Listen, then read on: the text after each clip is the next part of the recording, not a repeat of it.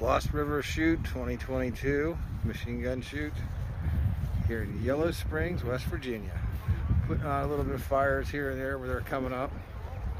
You can see everyone's kind of out doing the target walk. Doing all the mayhem.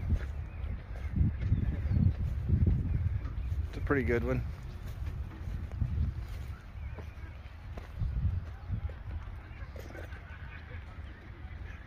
Propane tanks. Another car.